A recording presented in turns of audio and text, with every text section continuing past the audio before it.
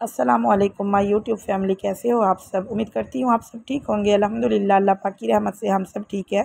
तो यहाँ पर जो है, आज मेरे हस्बैंड ग्रॉसरी करके आए थे तो आज मैंने मंगवाई थी पालक, क्योंकि मेरी पकौड़ों के लिए पालक जो थे, वो ख़त्म हो चुकी थी। तो यहाँ पर मैंने दो ज़िपर बैग जो थे, ये फुल करके रख दिए थे पालक के। मैंने कहा नेक्स्ट रमज़ान तक ये काफ़ी होगी इन और यहाँ पर साथ के साथ मैं पकौड़ों का मिसाला भी बना रही थी और बाकी जो मेरी पालक बच गई थी तो यहाँ पर मैंने इसे आज सालन बनाना था। पालक और बीफ का सालन बनाना था। तो यहाँ पे मैंने दो बैग बना के रख दिए थे। उसके अलावा यहाँ पे मैं साथ के साथ पकौड़े भी बना रही थी। और आजकल पकौड़े बहुत अच्छे लगते हैं क्योंकि कभी कभी बारिश हो जाती है, मौसम अच्छा हो जाता है तो मज़े के लगते हैं। तो उसके अलावा यहाँ पर देखिए मैंने बीफ निकाल के रखा हुआ है क्योंकि मैंने इसको गलाने के लिए कुकर में प्रेशर देना था। तो पहले मैंने पालक को प्रेशर दे दिया। ये अच्छे से सॉफ्ट हो चुकी थी। तो अब मैंने इसको ब्लेंडर वाले जग में डाल के तो अच्छे से मतलब ब्लेंड कर लेना था। और बिल्कुल सॉफ्ट करना था और उसके बाद जो था, फिर मैंने इसी कुकर को वॉश करके तो इसमें मैंने बीफ डाल दिया था गलाने के लिए ताकि अच्छे से सॉफ्ट हो जाए। फिर मैंने उसकी बुनाई करके तो उसमें मैंने पालक ऐड करनी थी और आज मैं पालक बना रही थी। पालक जो है वो सेहत के लिए बहुत अच्छी होती है और ग्रीन पत्ते वाली जितनी भी मतलब वेजिटेबल्स होती हैं, उनमें बहुत वाफिर मकदार में आयरन पाया जाता है। तो मतलब ये हमें लेनी चाहिए, ये हमारे मतलब अपनी खुराक में हमें शामिल करनी चाहिए, ये हमारी सेहत के लिए बहुत अच्छी होती हैं। तो यहाँ पर देखें, पालक जो है बिल्कुल ग्रैंड हो चुकी थी अच्छी तरह से ना। तो यहाँ पर बस मैंने बीफ डाल के तो यहाँ पे इसको प्रेशर दे दिया था और ये अच्छे से सॉफ्ट हो चुका था। जब तो फिर मैंने इसका प्रेशर ख़त्म करके तो फिर मैंने इसकी अच्छी से बुनाई कर ली थी।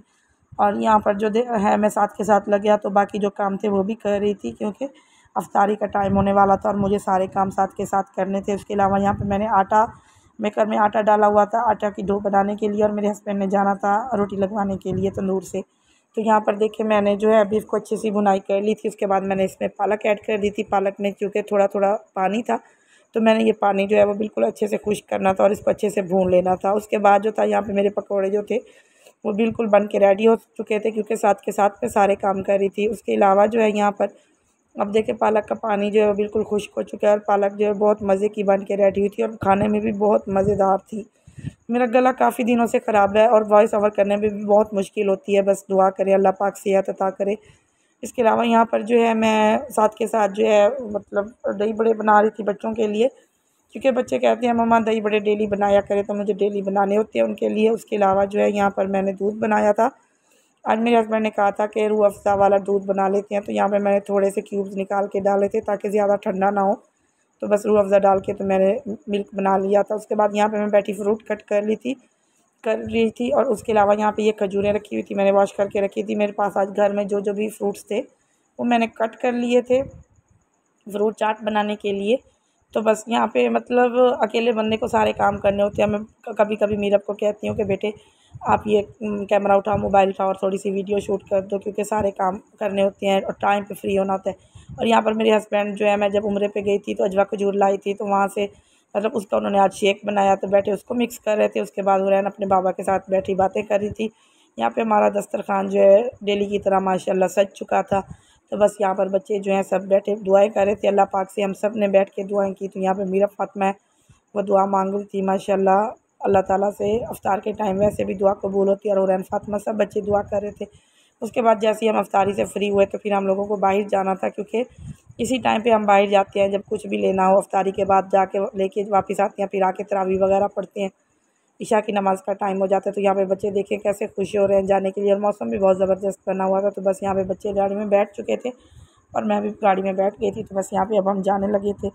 क्योंकि मुझे था कि जो जो सामान भी ले सकूँगी, ले आऊँगी, बस डेली मैंने अपने हस्बैंड से कहा जैसे जैसे टाइम मिलेगा तो हम अफ्तारी के बाद जाया करेंगे क्योंकि सुबह के टाइम दोपहर में थोड़ी सी गर्मी होती है और जाया भी नहीं जाता। तो यहाँ पर देखिए हम जो सामान वगैरह था लेके आ चुके थे। तो यहाँ पर मैं आपके साथ शेयर करूँगी कि मैं क्या क्या लेके आई थी। सबसे पहले तो मैं आपको अपनी मेडिसन दिखाती हूँ। मैं अपने लिए मेडिसन लाई थी क्योंकि मुझे बहुत खांसी भी है और फीवर भी हो रहा था, गला बहुत ख़राब था। आवाज़ ही नहीं निकल रही थी। तो बस उसके बाद जो है यहाँ पर मैं आपको दिखा रही हूँ। यहाँ पर जो है मैंने ब्रश लिया था। मतलब वो करने के लिए, बच्चों के बालों में कंघी करने के लिए क्योंकि ब्रश हमारा ख़राब हो गया तो यहाँ पर मेरे हाथ देखे कैसे रेड रेड हो रहे हैं। यहाँ पर मैंने अपने लिए लिप ग्लोज लिए थे, एक पिंक कलर में और एक रेड कलर में। उसके अलावा जो है यहाँ पर मैंने कुरान के लिए ईद के ड्रेस लिए थे तो यहाँ पर देखें ये शॉर्ट है और इसके साथ ये वाइट कलर की शर्ट है। स्टफ़ बहुत अच्छा था शर्ट्स का भी और साथ में ये जो मतलब शर्ट और पैंट जो थी उसका भी। तो उसके बाद जो है इसके अलावा दूसरी जो थी ना मैंने शर्ट उसकी ली थी ब्लू कलर में।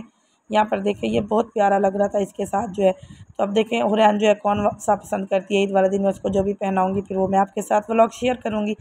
तो यहाँ पर देखें, ये मैंने लाइट ब्लू कलर में शर्ट ली थी और ये टाई स्टाइल में बनी हुई थी और इसके ऊपर फ्लावर भी बने हुए थे। और नीचे से इसका थोड़ा सा इस तरह से मतलब डिज़ाइन बना हुआ था। और इसके साथ फिर मैंने डार्क ब्लू कलर की ली थी पैंट जो थी और इसके ऊपर जो है फिर स्काई ब्लू छोटे छोटे स्टार बने हुए थे और ये भी बहुत अच्छा स्टफ़ था और बहुत ज़बरदस्त। कपड़े मतलब हुरैन के लिए मिल गए थे। उसके अलावा जो थे, मुझे एक और कपड़े पसंद आए तीनों बच्चियों के लिए, मैंने ले लिए सेम। ही तो यहाँ पर ऑन मोहम्मद खड़ा बुर्श कर रहा था क्योंकि नाइट का टाइम था, मैंने कहा आप जल्दी जल्दी बुर्श कर लो और उसके बाद आपने सोना है। तो यहाँ पर देखें, ये जो है ना, ये तीनों सूट मुझे एक जैसे मिल गया तो तीनों बहनों के मैंने सेम ही ले लिए। ब्लैक यहाँ पे कमीज़ें थी और ट्राउज़र जो थे वो पिंक शॉकिंग पिंक थे और साथ में दुबट्टे भी शॉकिंग पिंक थे और ऊपर कढ़ाई की हुई थी। बहुत ज़बरदस्त से सूट थे, क्योंकि ईद के बाद हमारी फैमिली में एक फ़ंक्शन भी आ रहा है। तो इन फिर जो भी होगा मैं आपके साथ शेयर करूँगी। अगर वो ईद पे पहनेंगे या फ़ंक्शन पे पहनेंगे तो वो फिर जो भी होगा मैं आपके साथ शेयर करूँगी। लेकिन ये भी बहुत अच्छा स्टाफ था और बहुत अच्छे मिल गए थे और यहाँ पे तीनों बच्चियाँ जो है वो अपने ऊपर रख के देख रही थी कि देखें कौन ज़्यादा प्यारा लग रहा है। तो उम्मीद करती हूँ बस आज का मेरा व्लॉग जो है वो आपको पसंद आएगा। मैं अपने व्लॉग का यहीं पे एंड करने लगी हूँ। मिलते हैं नेक्स्ट न्यू व्लॉग में। तब तक के लिए अल्लाह हाफिज़।